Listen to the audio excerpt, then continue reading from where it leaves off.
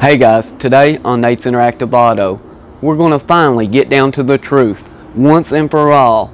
Should you be changing your engine oil at 5,000 miles as your manufacturer suggests, maybe 7,500 miles as they suggest, 10,000 miles or more?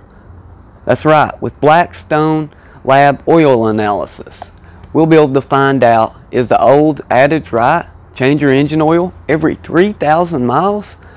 Or is it time to move on to the future? And what if your engine's worn? Will it help it last just a little bit longer? Really great questions we all want to know. Are we sacrificing protection? Now you should always change your engine oil at least by the time your manufacturer suggests. Say every 5,000 miles, change it at least by then. Now if you want to change it earlier, it's not going to hurt your vehicle to change your engine oil a little bit earlier. However, the cost is going to be a little bit different depending on the oil you use, filter, so on, the supplies. Now, a lot of these manufacturers, when they sell vehicles, they say free engine oil changes, which we know there's no such thing. They add that in on the cost. So, this is why we want to know, are they just doing this for the cost, or is there more to it?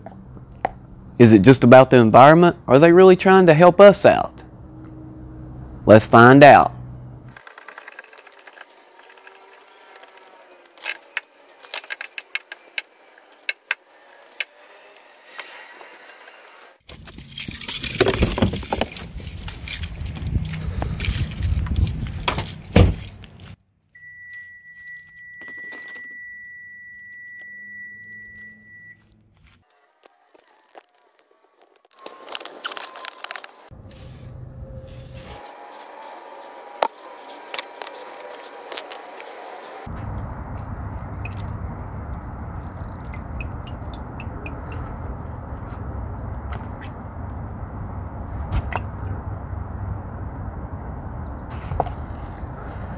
Well, looks like we have our sample, guys, and we're ready to send it off to Blackstone Labs. I'm excited.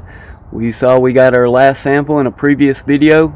As always, guys, if there's anything you can input, anything you guys would like to know, um, what you would like to do about the test, you can go on to Blackstone Labs uh, website. They show all kinds of different options for me to test this engine oil.